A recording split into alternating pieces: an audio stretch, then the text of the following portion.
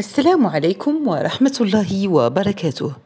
أعزائي التلاميذ فيديو اليوم يخص مادة الاجتماعيات للمستوى الثالث إعدادي نموذج الفرد الأول على بركة الله. الفرد الكتابي الأول مكون التاريخ. إذا في مادة التاريخ غادي على الوثيقة. عند الوثيقة الأولى تقول أما الأزمة الاقتصادية العالمية لسنة 1929 فقد ساعدت على إضعاف الأنظمة البرلمانية الديمقراطية وعلى تقوية الأنظمة الديكتاتورية بشكل عام وعلى المجيء بالنازية إلى الحكم في ألمانيا. كما ساعدت الدول الديكتاتورية على التفكير في المجال الحيوي والعمل به مقتطف من عين الصمد رياض 1999 تطور الأحداث الدولية في القرن العشرين. المؤسسة الجامعية للدراسات والنشر والتوزيع ببيروت صفحة 346 بتصرف.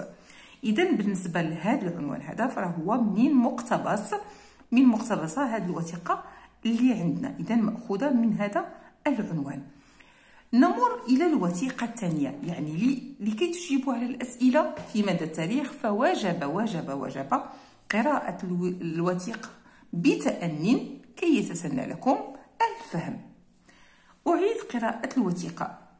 أما الأزمة الاقتصادية العالمية لسنة 1929 فقد ساعدت على إضعاف الأنظمة البرلمانية الديمقراطية. وعلى تقوية الأنظمة الديكتاتورية بشكل عام وعلى المجيء بالنازية إلى الحكم في ألمانيا. كما ساعدت الدول الديكتاتورية على التفكير في المجال الحيوي والعمل به.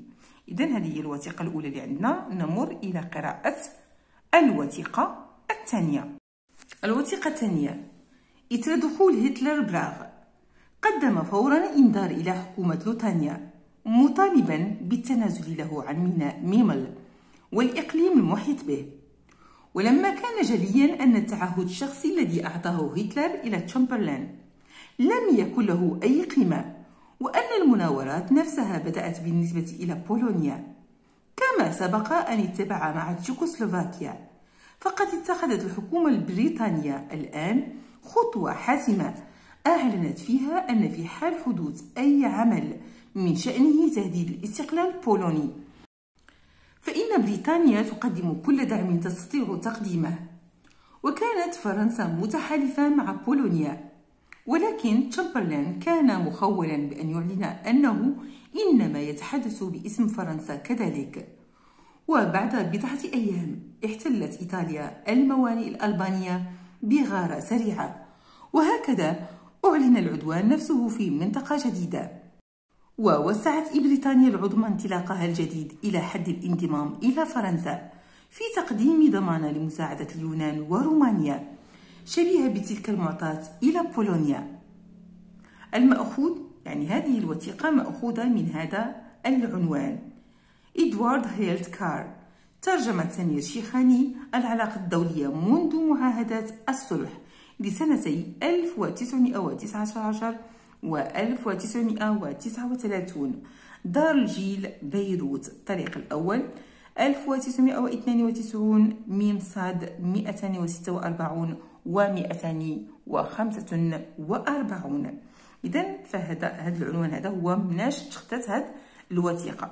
إذا المراد أول حاجة اللي غادي ننصحكم بها هو أنكم خاصكم تقراو هذا النص ولا هذه الوثيقة قراءة متأنية. كي يتسنى لكم فهم من أجل أنكم تجاوبوا على الأسئلة المطروحة. إذا سوف أمر إلى الأسئلة.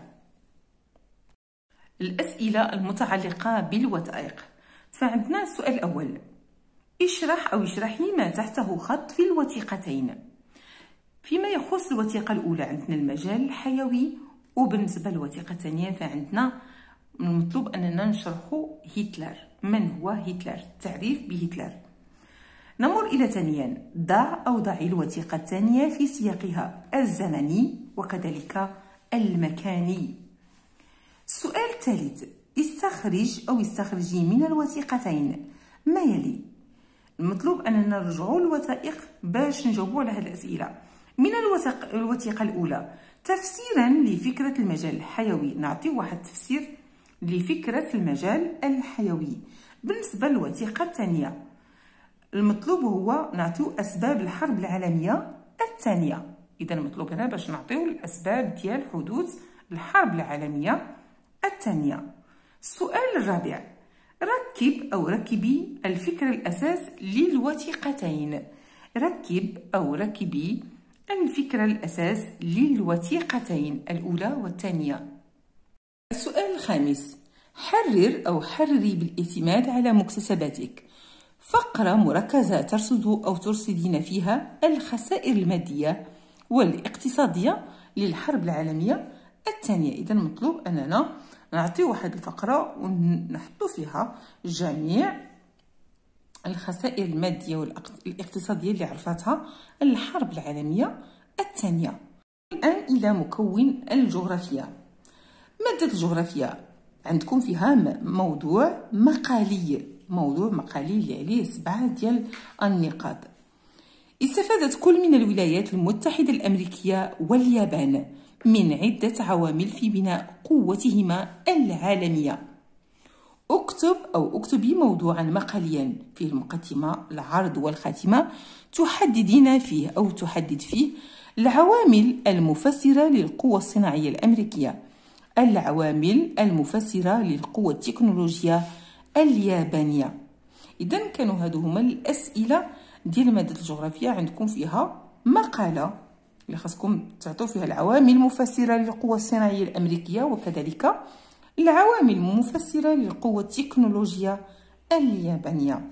هذا فيما يخص مكون الجغرافيا إذا فلننتقل إلى مكون مادة التربية على المواطنة فيما يخص هذه المادة هذه فالمطلوب منكم أنكم تعرفوا بعض المفاهيم.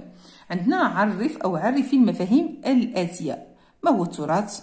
شنو هو كذلك التراث؟ تراث فني. ما هو تراث فني؟